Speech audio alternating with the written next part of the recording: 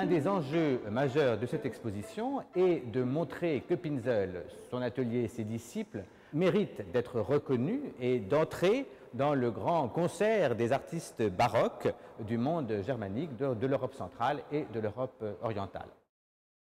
L'art de Pinzel est évocateur car il frappe l'esprit immédiatement. Il est très expressif et en même temps très sensible. Lorsque vous voyez la Vierge de douleur de Odovica, elle a de véritables larmes qui coulent sous ses yeux. N'importe quelle mère de famille, n'importe quelle paysanne pouvait être en empathie avec cette Vierge qui pleurait parce que son fils mourait sur la croix. Les émotions sont exacerbées. Nous savons très peu de choses sur euh, Pinzel. Il se marie en 1751 dans une petite ville à 150 km au sud de Lviv, aujourd'hui en Ukraine occidentale, mais qui au XVIIIe siècle faisait partie du royaume de Pologne.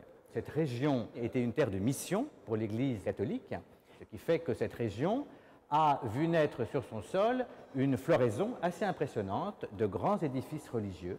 Il y eut donc des commandes pour les architectes et également pour les peintres et pour les sculpteurs. Et euh, un des clous de l'exposition est l'ensemble de sculptures du cœur de l'église d'Odovica, qui se trouve au sud de Lviv. L'église a été conçue par Bernard Mérétin du point de vue de l'architecture. Il y eut un peintre, Rodzinski, qui a réalisé un ensemble assez extraordinaire de décors d'architecture peinte, illusionniste, et les sculptures de Pinzel se greffent sur ce décor dans une impressionnante euh, pyramide.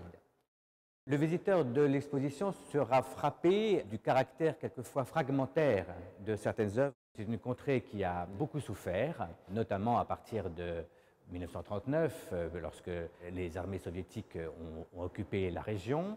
Et en fait, le pouvoir euh, soviétique a lutté en quelque sorte euh, contre deux ennemis, le nationalisme ukrainien et le sentiment catholique. La conséquence de cette volonté politique a été l'abandon ou même la destruction des vestiges de la culture ukrainienne, entre guillemets, et également, bien sûr, de la culture catholique.